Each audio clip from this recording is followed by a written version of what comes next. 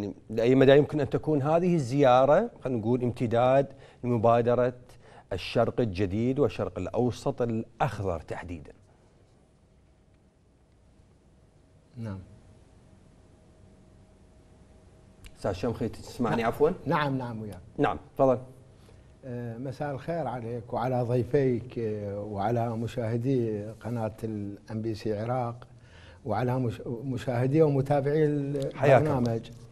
الحقيقة يعني بقدر هذه المبادرات إذا كانت مبادرات المشرق الجديد أو الشرق الأوسط الأخضر هي مساعي لإقامة علاقات وشراكات اقتصادية مساعي للتأسيس آه، لمنطقة آمنة لأننا آه، نعيش في منطقة فيها بعض البؤر الساخنة آه، كاليمن مثلا وسوريا.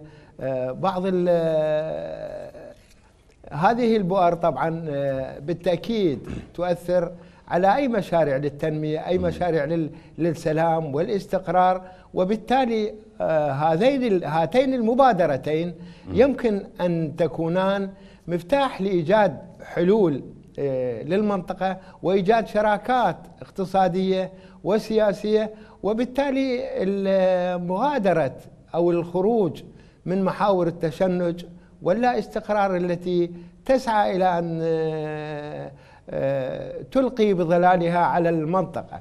الحقيقة مخضت آه، يعني عن زيارة مصطفى الكاظمي إلى الإمارات أو إذا كانت قبلها للسعودية. هو هذا المسعى مسعى للانفتاح على على ما يمكن أن نسميه العمق العربي للعراق. وكان رئيس الوزراء قد تحدث آه، عن هذا الموضوع وأشار بالتحديد على أن دول الخليج هي عمقنا الاستراتيجي. وبالتالي آه، العراق باعتباره يعني بيئة آه، مهيئة للاستثمار بيئة بحاجة إلى الإعمار بعد مغادرة فترة الحرب مع داعش وتحقيق الانتصار الكبير الذي الذي يعد انتصارا ليس للعراق فقط وإنما لدول الإقليم للمنطقة العربية والعالم أجمع.